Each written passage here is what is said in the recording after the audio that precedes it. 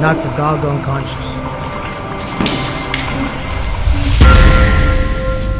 Cut his tongue out. Diamond made him sing a Christmas song, taped it on a videotape, and mailed it to the guy's parents' house. Brady the doorbell. Why did you steal the deal? I didn't steal it. What do you think we should do? What the hell do you want now? uh, I forgot about the hit. Nothing personal, Ed, but I would kill you if you would have done it to me. Now, how do you know that Diamond's out to kill the itch? Do you actually try to be stupid or does it come natural to you? He asked me to kill as a favor to him. You're gonna take my meat and you're gonna like it. No. And stop talking all perverted to me, man. I don't like it. When a sinner falls into my hands, they pay the price for their sins, which is death. I do the Lord's holy work.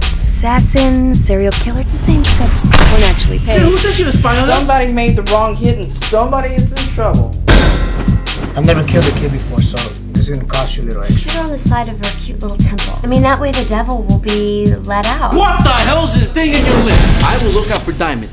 Paul, Gloria, look around this place. We Called you all here in one central location where it'd be easy to make a hit. I was calling to remind you again. Primo wants this thing done on Sunday. Oh!